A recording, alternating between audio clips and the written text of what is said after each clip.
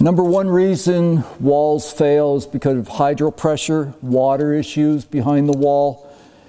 So what we want to try to do is uh, help any kind of water that migrates into the back of the area of the wall, retaining wall system. We want to make sure that it has a way of exiting behind and not causing a hydraulic pressure on it and failing it.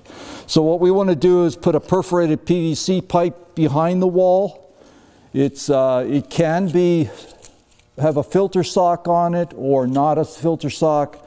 And what we'll do after this is we're going to put drain crushed gravel in here and behind this and cover this. And it's on top of the impermeable material so the water comes in, drains into this, and we have an exit point.